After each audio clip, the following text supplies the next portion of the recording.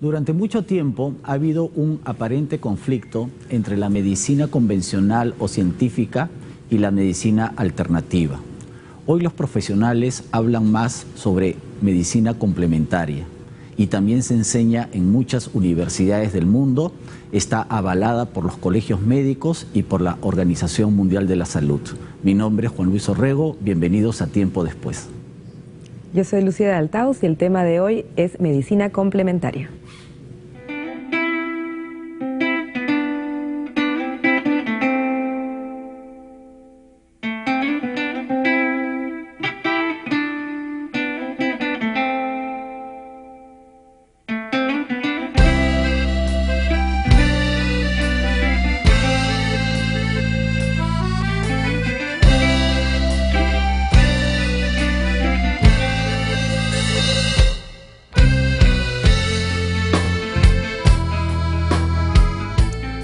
Noches a todos, buenas noches Juan Luis. Hola, ¿cómo estás? ¿Qué tal? Hoy día tenemos un tema, un programa muy interesante, ¿no? Con un tema que puede ser un poco controvertido, pero a la vez la gente quiero que quiere saber un poco más, cada vez que quiere acercar un poco más.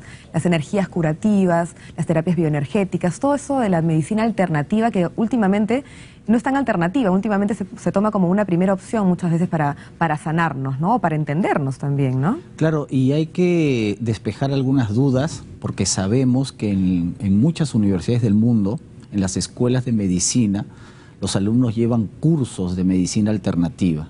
¿no? porque algunos pueden pensar pues que esto puede pertenecer pues al, mundo de lo esotérico, del, del folclore, de lo no serio en general.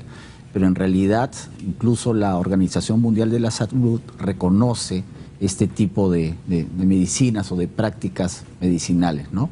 Para eso esta noche nos acompañan dos grandes invitados. A mí me toca presentar a Maritza Velarde. Ella es médico terapeuta bioenergética. ¿Cómo estás? Hola, Juan Luis. Gracias por la invitación. El, término, no te preocupes. bueno, y también está con nosotros Oscar Villavicencio. Él es médico y docente de la Universidad de San Marcos. Muchas gracias. Bueno, podemos empezar el, programa eh, definiendo un poquito, como decía Juan Luis, despejando un poquito dudas. Eh, hay un poquito esa controversia. Hay gente que vamos a ver si realmente son opuestas, digamos, la medicina alternativa versus la medicina occidental tradicional. ¿Nos pueden explicar cómo es cada una, si se oponen o no, o si se pueden complementar? ¿Cómo es? Bueno, en realidad es eh, desde la creación de la humanidad, nosotros siempre hemos sido una parte física, una parte mental y una parte espiritual y todo ello entra dentro del campo energético. Cuando nos olvidamos nosotros, porque ambos, el doctor Oscar Vicencio, eh, como médicos formados en la medicina convencional, nos olvidamos de la mente y del espíritu de, de nuestros pacientes, estamos perdiendo la visión de lo que es la medicina humana, porque nosotros nos recibimos en el campo de la medicina humana. Qué bonito, o sea, digamos, los dos vienen de medicina tradicional occidental, por decirlo así, son médicos, se han estudiado, ¿no? Como todo, pero finalmente lo que han tratado es de conectarse con ese lado humano que efectivamente a veces es un poquito dejado de lado, ¿no? Hacerlo de manera integral, lo que realmente merece el paciente. Con lo cual me está respondiendo que no se contradice entonces con la medicina tradicional. De ninguna manera, por el contrario, se complementan muy bien, pero cuando se hace de manera coherente y también con una buena base en ambos lados. ¿Considera igual? E, por, esa razón, por esa razón, como complementa, yo prefiero el término medicina complementaria. Mm. Lógicamente, eh, a nivel mundial se está empleando mucho el término de medicina alternativa y o complementaria. Complementaria porque no complementa, puede ser lo principal, pero junto, digamos, con lo convencional, porque no obliga al paciente que está recibiendo sus antihipertensivos, de pronto su medicación por su médico especialista, a que deje de hacer lo que está haciendo con el médico especialista para que haga una terapia bioenergética o una terapia naturista o homeopatía o acupuntura. En ese caso, digamos, prefiero ese término, ¿no? Claro, tiene mucho más sentido, ¿no? Ahora, Oscar, por, por ejemplo, en San Marcos, ¿existe un diploma, un título especial o son cursos que imparten de medicina complementaria o medicina alternativa? ¿Cómo no? Desde el año 1998 se empezó en un convenio con el Seguro Social a, dictar cursos de alta especialización en, en terapias alternativas y o complementarias, donde participaron médicos, eh, fisioterapeutas, enfermeras, químicos farmacéuticos, eran, profesionales de la salud de los diversos centros hospitalarios y clínicas, digamos, que hay a nivel de todo el Perú. Esa experiencia se fue dando año por año y en el año 2002 se inició ya la experiencia a través del planteamiento estratégico, se presentó eso a, las universidades y lo asumió. La Universidad de San Marcos dijo eso quiero que se haga acá en la universidad y se comenzó a dar en la universidad como diplomatura. Entonces existe una diplomatura de terapias alternativas para profesionales de la salud presentada por la Facultad de Medicina de la Universidad de San Marcos. Es la única, digamos, en estos momentos a nivel nacional. ¿Por qué crees que, es la única? ¿Por qué esto no está más globalizado, más, digamos, para todos los centros de estudios? En realidad digo la única desde el punto de vista que lo presenta una facultad de medicina. Hay otras universidades que tienen también diplomatura, que tienen maestrías, pero no lo está presentando la Facultad de Medicina. O sea, la unidad de posgrado prácticamente tuvo que evaluar mucho para poder dar paso a esto dentro de la universidad. Entonces puso sus exigencias, como es lógico, y sin embargo, hasta ahora ha tenido mucho éxito. Cada vez hay más médicos, no solamente jóvenes, sino también médicos que ya tienen sus años, especialistas en diferentes áreas, que quieren aprender, que quieren saber más de esto, porque ellos leen, se informan que a nivel mundial es algo que se está dando. Entonces tienen todo derecho, ¿no? Ahora, eso quiere decir que si es una especialidad eh, promovida por la Facultad de Medicina, a su vez está avalada por el Colegio Médico. Exactamente. Está avalada por el Colegio Médico y te informo que en el Colegio Médico existe hace más o menos unos cuatro años, si no me equivoco, un comité, cuatro o cinco años, un comité de medicina tradicional, alternativa y complementaria. Entonces, donde los médicos de la institución pueden acudir para informarse, se hacen congresos mundiales, se hacen congresos mundiales no solamente de terapias alternativas y complementarias, sino también de medicina tradicional peruana. Ajá. Que no está eso no está incluido dentro de las medicinas. Claro, hasta ese momento, obviamente, uno, un médico, pues, hablar de esto era como un poco ingresar, como tú bien dijiste, a lo extraño, al folclore o a, algo, digamos, que es de lo popular, pero que no es serio. Ahora, para, para despejar dudas, por ejemplo, cuando uno escucha medicina tradicional, ¿eso es sinónimo a medicina popular?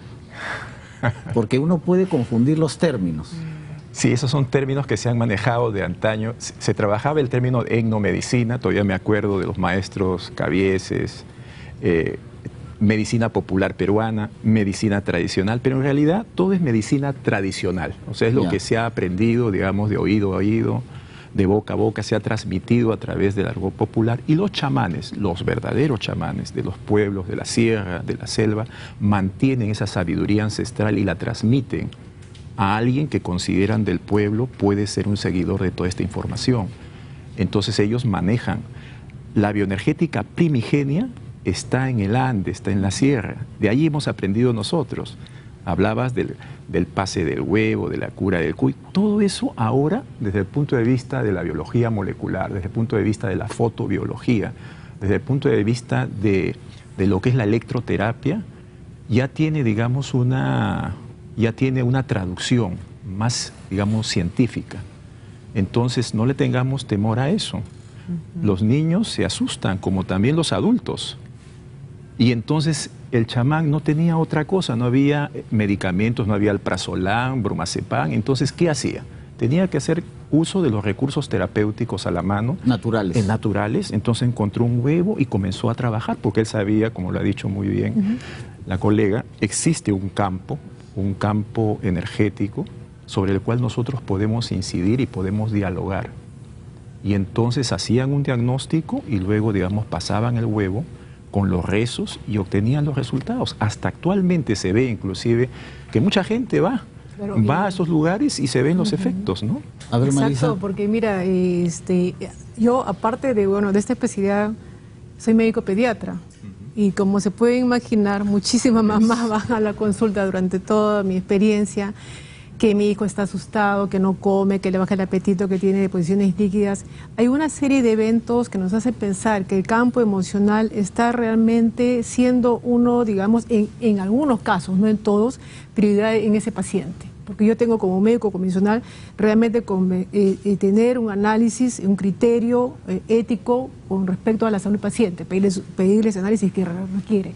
Pero yéndose al punto, es que la madre también es un, es un extraordinario vehículo de transmisión de un campo electromagnético de armonía, de amor, porque nace del corazón el, el, hacer ese rezo o hacer la ovoterapia, pasar el huevo, con el deseo, la intención, que es lo más importante, de que su hijo esté tranquilo y en armonía. Pero Maritza, mm. pasa muchas veces que ya que estamos, ya que entramos de, lleno a este tema, no hay problema, no hay problema, pero está bien, es bueno. Em, pasa también muchas veces que más bien la energía de la mamá tampoco es, digamos, limpia o positiva, o más bien está muy cargada, o más bien tiene, porque también existen dificultades en el vínculo, en el vínculo madre-hijo, digamos, más allá de la energía, digamos, ¿no? Entonces, completamente de acuerdo. ¿Qué, pasa? Porque somos seres humanos, o sea, la mamá no debe preocuparse porque también está así. Somos seres humanos y hoy día nos levantamos súper felices porque hemos tenido todo un tema de felicidad y mañana de repente nos podemos levantar molestos. Y la madre ante todo es un ser humano. Así es. Bien. Y si la mamá está, es igual, para la lactancia materna, si una madre da lactancia materna con rabia, con cólera, esa leche va a cambiar de sabor. No va a tener la misma característica que una leche que se le da con el amor, con la ternura. Entonces, la madre comienza, es una de las cosas que hacemos nosotros dentro de las terapias, que canalice su energía de la mejor manera eh, y, por supuesto, reconociendo las causas que puede haber producido, ¿no? Y trabajar eso a través del canto, a través de una canción de cuna. Sabemos que la canción de cuna es también un campo energético muy sanador y se ha demostrado científicamente que produce una extraordinaria sinapsis, una extraordinaria conexión de neurona a neurona y estabiliza ese cerebro, produce serotonina y endorfina que tiene que ver con confianza y felicidad. Eso es una energía curativa. Pero tiene que haber mucha disposición para eso, pues, ¿no? Mucha disposición, pero hay que aprender también, poquito a poquito, a manejar esa buena disposición. Y sí se puede lograr, porque yo estoy diciendo ya más de 25 años trabajando con niños y mamás. Vamos a ir a un pequeño corte para continuar con este interesante tema. Volvemos.